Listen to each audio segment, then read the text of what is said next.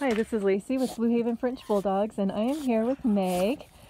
She, she is actually Megara from, she is from Sophie and Quigley's first litter, and she is now, um, well, she's actually um, pregnant. Um, she's she's got about a month left, so she's not too huge right now. So I figured I better videotape her before before she gets too big. But anyway, she she's a tiny little thing. She's she's about 20 pounds, and she's just beautiful. She, um, like I said, her dad.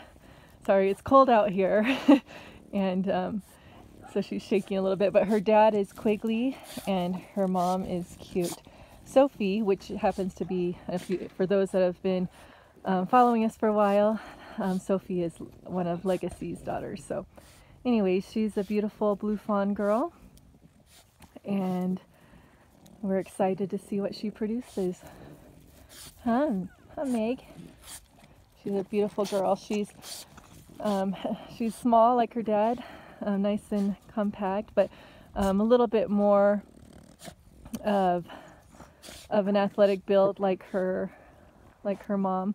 Anyway, she's kind of like a mixture of the two. She's really cute. Where are you going, Meg?